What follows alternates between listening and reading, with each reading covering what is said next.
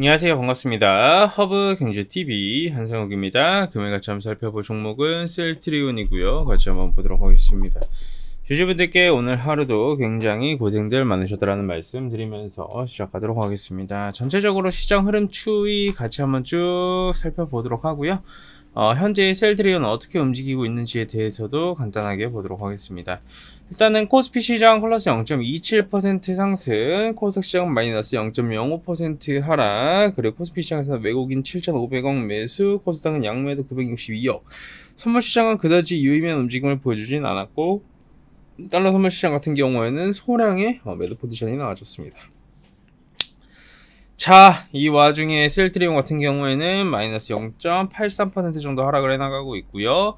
어, 프로그램 매도 8만 주 정도 나와주고 있습니다. JP모건과 메리치에서 주도적인 매도 물량이 나와주고 있고, 어, 기관 같은 경우에는 연기금을 필두로 소량의 매수 포지션이 좀 이어지고 있다 정도까지 해석을 해주시면 될 것 같고요.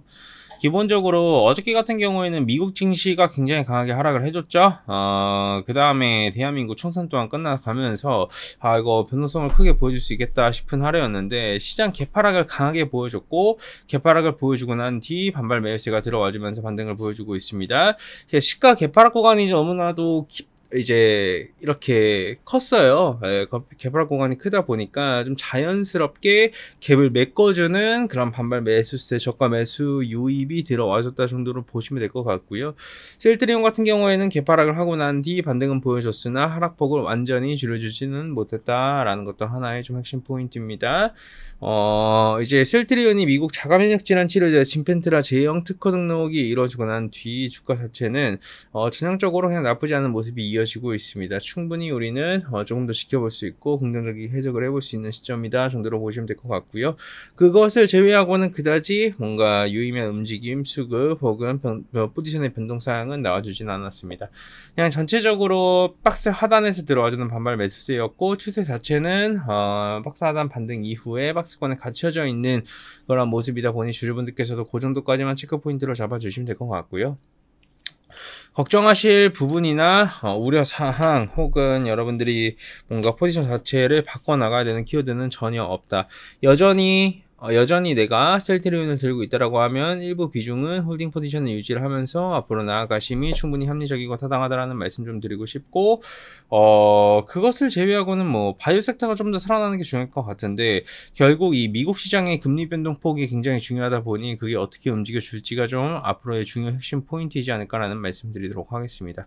그렇기 때문에 주주분들도 그 정도까지만 체크 포인트로 잡아주시면 될 것 같습니다. 어, 수급 상황은 아까 전에 말씀을 드린 대로 그다지 유의미한 움직임은 없어요. 시티그룹에서 4만 5천 주 정도 들어와줬으나 모건과 메릴린치에서 매도 물량이 더 많이 나와주다 보니 어, 전체적으로 포지션은 외국인들은 매도로 어, 지금 이루어지고 있지 않나 싶습니다. 좋습니다. 고생들 많으셨고요. 여러분들 잘 아시겠지만 저희 허브경제 TV 저도 취업도 하고 있습니다. 이제 어떻게 보면 시장이 다시 한 번 더 자리를 잡아갈 수 있을 만한 좋은 시점이 맞습니다. 조정은 명확하게 보여줬, 보여줬었고요.